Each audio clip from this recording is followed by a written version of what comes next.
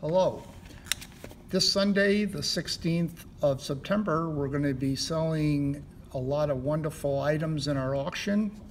And one of the groups of items that we're going to be selling that we're kind of excited about and we've had a lot of inquiries on is our mechanical bronze erotica theme pieces, uh, plus some other erotica that isn't bronze. Uh, This video is made so that uh, the uh, potential bidder can get a good idea what they're going to possibly be bidding on or buying. Uh, And we hope that uh, this is something that they do appreciate what we're going to offer here. This is a Bergman popular bronze. I've seen it many times before. The nice thing about this one is, is the polychrome paint is excellent on it, and it's in really wonderful shape. When you lift it, uh, reveals her nudity, which was uh, highly risque at the time. As I turn it around, you can see that the condition is fine. This one here is well stamped. Uh, Here, there's a little uh, Bergman uh, B in the urn stamp. There's also a mark down here, which is marked Namgreb, which is Bergman's name backwards, that he occasionally signed his pieces like that. And then on the very bottom, there's a Bergman mark uh, with the B in the urn. Uh, The condition is just really great. And that's going to be lot number 71, is lot 64, the erotic match striker. This is made of a silver plate, and it also is pre-1900. On uh, one end is the striker. On the other end, when the button's pushed, the door opens to remove the matches. Also, under this door is the erotic scene. I'm going to demonstrate it so you can see. As you can hear the motor working, unfortunately, it's not moving at the same time, so it does need some adjustment. Great item. I hope you bid on it. Thank you.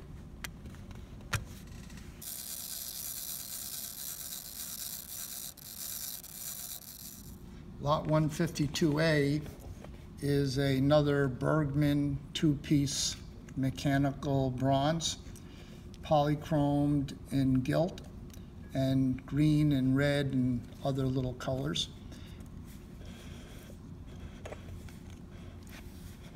We couldn't find a signature on it, but uh, there's no question about who made it. And uh, the patina definitely shows the age, which would probably be pre-1900.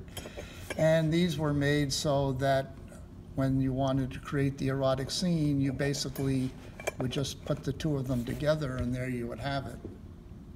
Lot 69A, another Austrian bronze polychromed. This one's kind of unusual. Uh, we haven't found anybody that uh, has seen this one before. And uh, in that particular situation, I'm surprised uh, that uh, I thought all of them had been seen uh, at one time or another. This one here is almost like it's a couple of uh, Caucasian uh, people, uh, flapper girl uh, with the flapper hairstyle, uh, polychromed in a silver type finish, and this one here in a copper finish with the red bathing suit. And from what I can figure out, which is not too difficult, is that when it's joined together as an erotic bronze, this is the way it would be uh, seen. Lot 148A is another pair of Austrian bronzes. And this one, I'm going to say, is quite rare. Uh, you don't see this one hardly at all. Uh, we're thrilled to have it. It shows a satyr,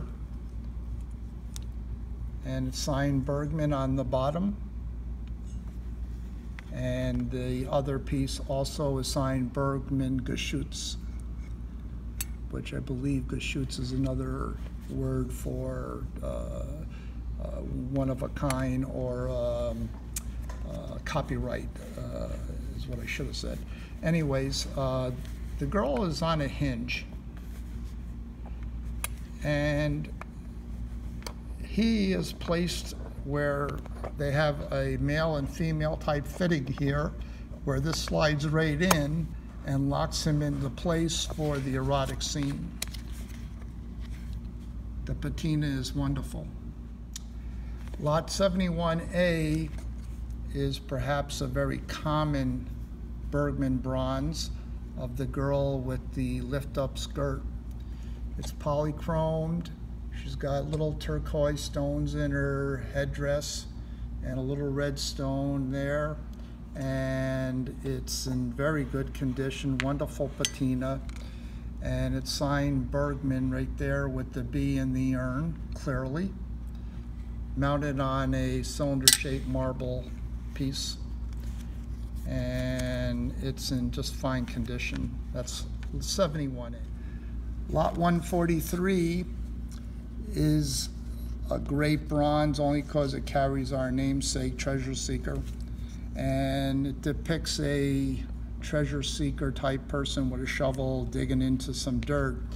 And of course, the erotic scene, which is what it's all about, is when you remove it, you have the bronze nude laying on the rocks there, and the plaque reads, A Treasure Seeker. Uh, I'd be kidding if I didn't tell you that's where we got our name from. It's done by Kauba. That's Carl Kauba in the late 19th century. The interesting thing about Kauba, who's known for doing all kinds of subjects and everything, is he was an Austrian that never left his country, or at least never came into America to uh, study the Indians and Western subjects. He did them all from Austria. And that's always been kind of an interesting thing about him. The back of it, everything is just really great. It's in great patina. It's a nice old piece. And uh, I think whoever buys it would be thrilled. Lot 114A, the Iron Maiden, which is actually bronze. And the inside is has a beautiful nude figure in doré bronze. And that's made also so it can slide out relatively easy.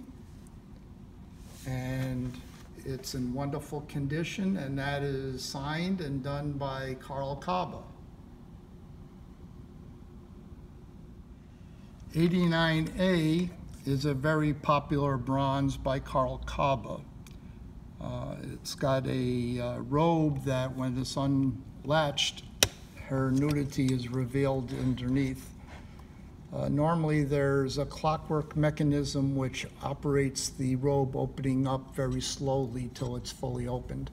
Uh, for whatever reasons, uh, when it came in it was working and now it's not doing that. Uh, but it's still a very fun bronze by Kauba, and it is not signed.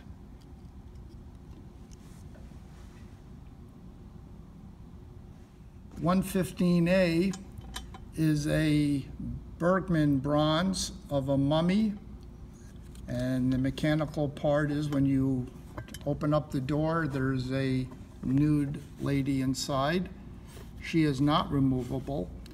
She's polychromed and the outside of the mummy case is all polychromed also with different colors of yellows, reds, and uh, blues.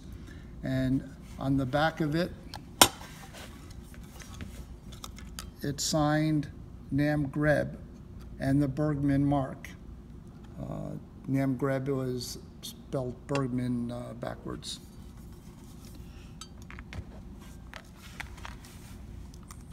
165A is a Austrian bronze of a nude lying down amongst some rocks.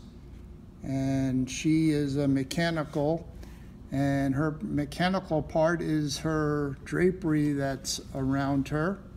And that is opened and now closed. And it's mounted on an oval marble base. Uh, this is not signed but appears to have really good age to it. Lot 166A is a doré bronze figure of a woman sitting on a couch with her dachshund sitting next to her. And she's made so that you can lift her off, and if you turn her upside down, you reveal what's underneath her dress. It has a little peg in it, which, when it is properly sitting, it is locked into that. This one is not signed, but still a wonderful old bronze.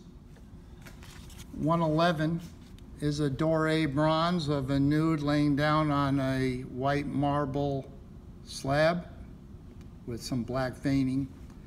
And she is designed so that when you lift her leg, you could put your cigar in there and cut the tip off. These were certainly popular towards the late 19th century into the early beginning of the 20th century. This is not signed. 107A is a doré bronze of a lady sitting in a basket with one breast exposed.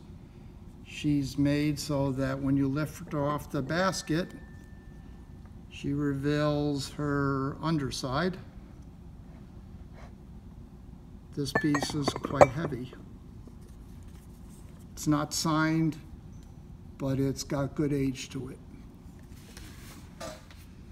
Here we have lot 112A.